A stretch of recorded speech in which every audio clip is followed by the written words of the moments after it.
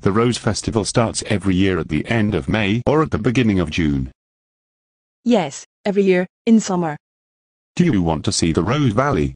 It stretches for 10 to 12 kilometers and is 95 kilometers long.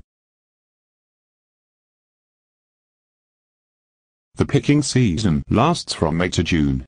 During this period the area gives off a pleasant scent and is covered with multicolored flowers. The gathering process, traditionally is a woman's task. Flowers are carefully cut one by one and laid in willow baskets which are then sent to distilleries.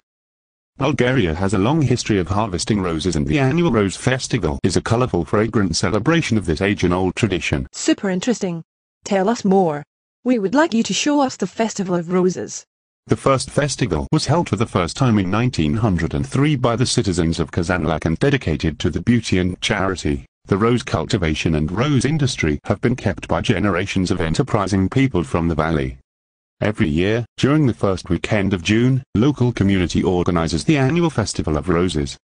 I don't know that we have such a magnificent festival. Today the Rose Festival is an international event, visited and enjoyed by thousands of tourists and guests.